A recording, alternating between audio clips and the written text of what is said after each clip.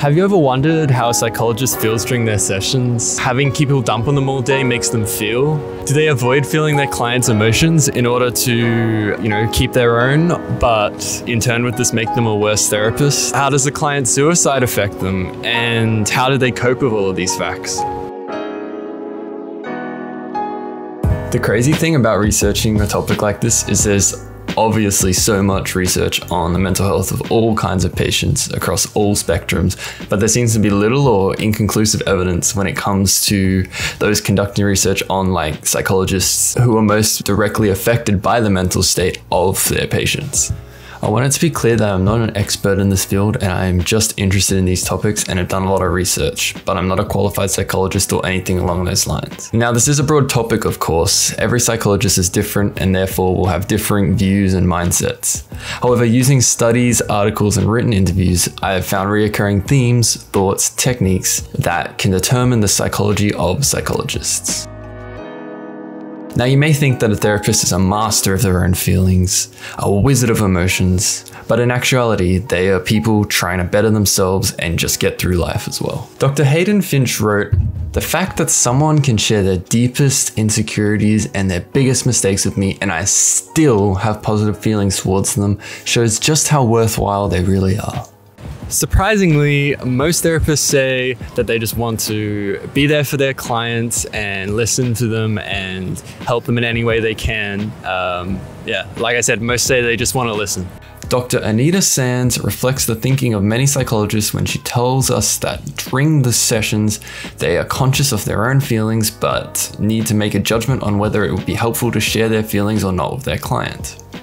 When she is sitting down with a client, if their reaction and feelings don't align with what they are saying, this lets them know that there is something that needs to be explored further during their next session. She says there's something powerful in that.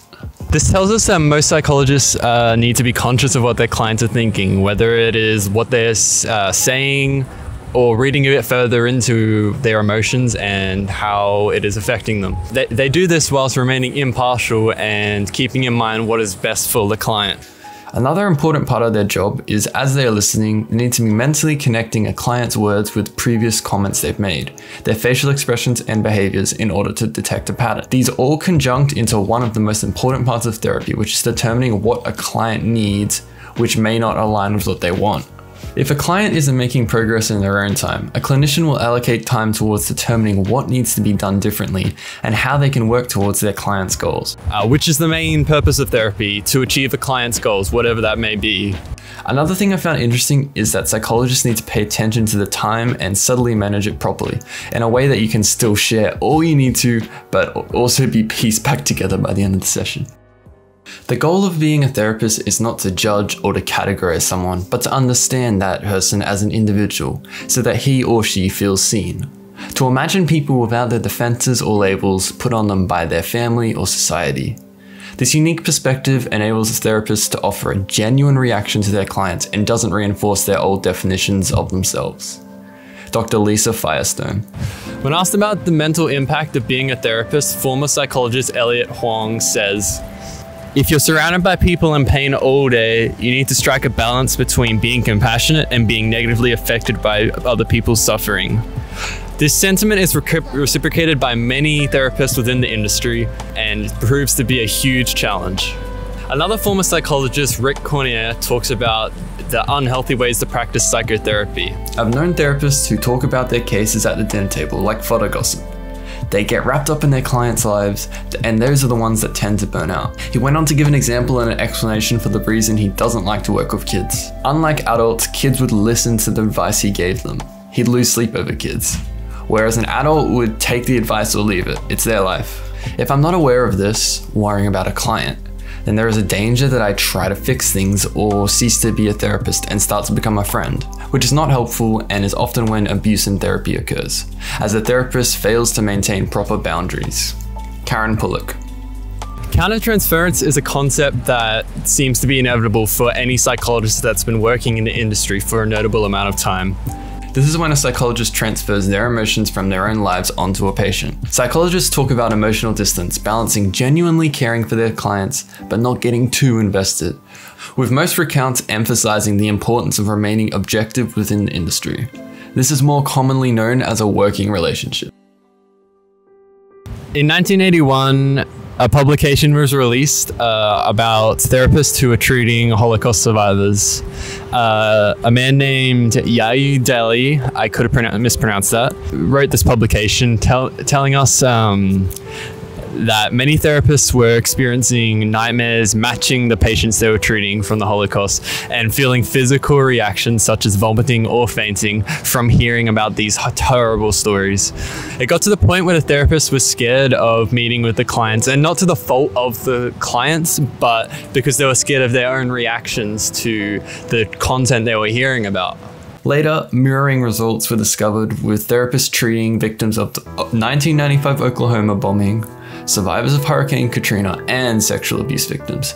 Uh, Jackie Burke, the clinical director for rape and domestic violence in Australia, talks about vic- trauma, which is very similar to secondary trauma. Um, she tells us that it's almost inevitable within this line of work. Through a combination of tactics that I will cover later, they are able to navigate and be effective when practicing, which will not only benefit themselves, but their patients. They need to strike a balance between being caring about the person, but still remaining objective. Dr. David Rowland, who's experienced secondary trauma firsthand, talked about coming across the work of neuroscientists Tania Singer and Olga Klimecki which noted that a different neurological pathways activated in the brain during the empathetic response to someone's emotional pain. When a compassionate attitude towards the other's pain is taken, then they concluded that if practitioner channels the compassionate part of their brain rather than the empathetic, the practitioner can feel the client's pain and stay motivated to alleviate the client's suffering, but not take out on the physical or emotional part. Therapists who do experience secondary trauma tend to burn out more emotionally and physically. A lot of these therapists talk about not getting too attached or taking on their client's pain so that they can live a more fulfilling and stress free life for themselves. Uh, while this does seem logical, it does bring up a lot more questions. Is this going to prevent them from connecting with their clients, thus making them a worse psychologist? As they will not be as actively involved in what their clients are saying, will this prevent them from giving strong advice in the short term? It seems obvious in the long term, of course, as Natalia Perivala puts it a therapist who genuinely cares is automatically too invested, which spells a lack of objectivity. I think it really depends on the therapist here. I think they're really self aware and conscious of whether they're being too close or, you know, what is beneficial to say to the client. I think that is when they're a good therapist. I agree with the sentiment, but Natalia here is implying that many, her and many other therapists do not care about their clients.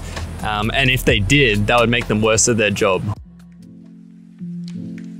If a psychologist client were to commit suicide, what impact would that have on the clinician? Suicide is a multi determined event, and it would be unfair or irresponsible for me to imply that one individual thing could cause any one person suicide. According to Séguin in 2014, effective treatment for suicide requires technical competence and a wide variety of skills which are rarely covered in most psychology programs. This lack of training can cause self doubt and anxiety among psychologists um, and can cause them to actively avoid these kinds of patients. The list of reactions to a client's suicide detailed is as you would expect stress, grief, guilt, etc. However, what I find interesting is that Séguin talks about traditional therapy and treating a suicidal patient as two vastly different things. As their goal switches from finding their goals and achieving them, like we were talking about, to keeping the person alive through connectedness and giving of self, and of course, being careful of what you say. There also doesn't seem to be many guidelines on coping with the aftermath of a client's suicide. Essentially, across all the studies I looked at, uh, the psychologist suicide rate was the same as the general public, meaning that the job doesn't seem to make you more likely to commit suicide. Furthermore, most of the psychologist suicides were said to have happened because the therapist was troubled or distressed rather than in trouble, like they owed someone money. The NIH.gov raised an interesting question that more research should be put into whether already vulnerable individuals choose psychology as a profession. Although it is just a question and there's no real research to back it up, it does really seem to make sense to me. Vulnerable people would choose to help other vulnerable people rather than start with themselves. Self care and self awareness are essential in this field. And without it, it's impossible for them to do their job correctly without being dragged into the massive black hole before them. I think self awareness is a skill that everyone should develop so they can view themselves without their own judgments or biases you can see why it is way more important for mental health care professionals so that they can remain impartial for the sake of themselves as well as their clients. The most effective ways to deal with this is, like I covered before, with being more compassionate rather than empathetic. In this way, therapists can use compassion rather than empathy so that they can identify, understand, and feel motivated by a client's suffering, whilst not taking on the physical or emotional components of the pain. The most common sets of values I found within my research were being non judgmental, listening, knowing they can't fix the problem, being there for the client, and compassion. Therapists need to employ self care, and it seems important that they also go to therapy where they can unpack and deal with their own feelings. I think further training could help if they are dealing with suicidal or other kinds of clients that are out of their depth. The best way for a therapist to deal with the stresses of their job is to go see a therapist of their own, talking, of course, in confidence about their clients or any stresses that they are dealing with. I think I've provided a small glimpse into a psychologist's world, but of course only a medical professional truly knows how to operate within this field. I think the problem is that like all of these methods are great, but there doesn't really seem to be any thought formal structure or support to actually help these psychologists who need it. These people are what help millions of people every day through listening, advice, or a shoulder to cry on, and yet who's there for them?